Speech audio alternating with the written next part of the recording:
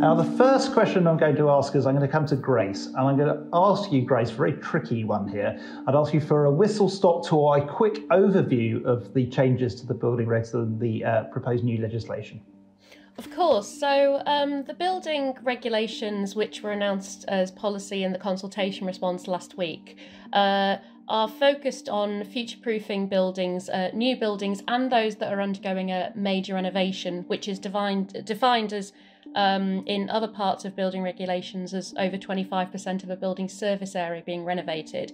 Uh, they will be future proofed with charge point infrastructure. So, largely the emphasis we have is on charge points themselves, but also on cable routes. So, uh, it is a lot easier uh, to install charge points in future. So, when it comes to residential buildings, which I think will be of particular interest to the panel and uh, your audience, James, um, when uh, a new building is set up, the uh, goal and the policy is to have a new charge point for every dwelling.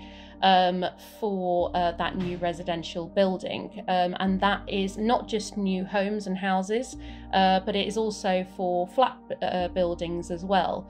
Um, so uh, there are some relevant exemptions, as there are for a lot of policies like this, to make sure everything is proportional. Um, but when it comes to a, a, residential building which has more than 10 parking spaces, uh, we're also not just going for the uh, one charge point per dwelling, we're also going for cable routes in all further spaces as well.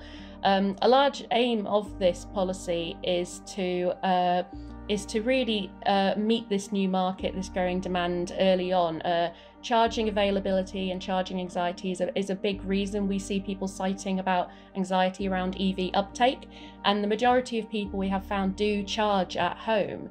And so by uh, putting this in place and also using the cable routing to make it easier should retrofitting want to occur, we're uh, trying to have all future buildings ready for this EV transition. It also does apply to new non residentials as well. So, new supermarkets, new workplaces, they will also have a, a minimum one charge point requirement and uh, requirements for cable routing as well.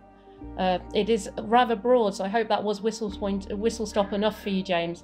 I, I, thought that was rather good. I guess the one point of uh, clarification I would add is uh, that it's uh, those buildings, uh, it, it's bays associated with a dwelling. So uh, um, if, if there is not going to be a parking space, clearly there's not a man, you know, mandatory yes, charging no, point, that would yes, that is absolutely right. It's, it's associated yes. parking spaces.